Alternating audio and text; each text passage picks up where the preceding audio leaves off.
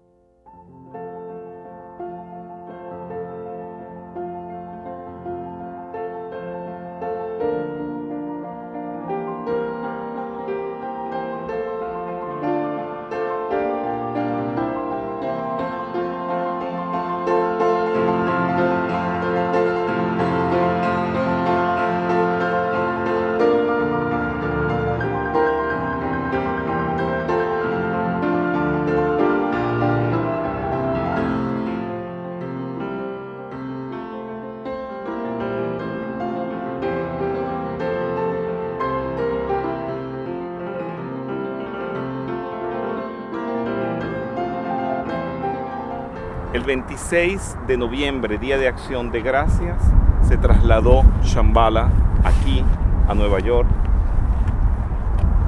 Y el Señor del mundo, el Señor Gautama, estableció su residencia aquí.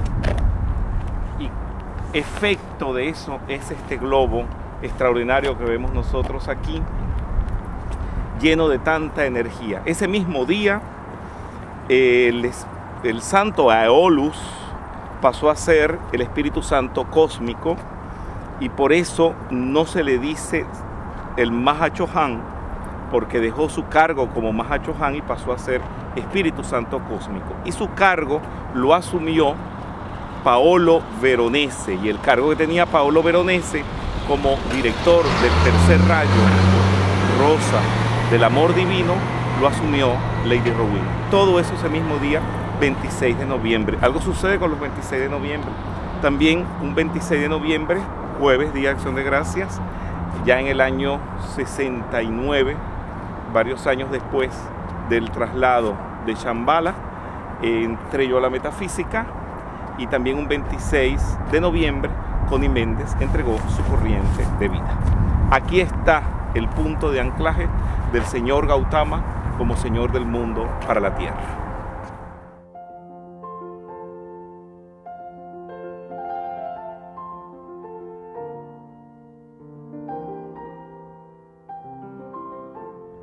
Hay tres ejes que envuelven a la Tierra, como los podemos observar, y cada uno de ellos representa uno de los rayos de la llama triple.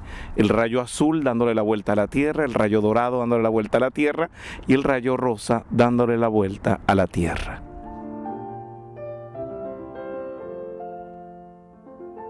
Este que es el globo que sostiene el Señor del mundo entre sus manos, como Señor del mundo que es, se llama la Uniesfera. Y aquí está esta placa que se develó para la Feria Mundial de Nueva York y dice, dedicado a los hombres que aspiran a la paz y a la mutual comprensión como un símbolo de la expansión de, un, de un universo en expansión. Dice que la esfera está hecha de acero inoxidable.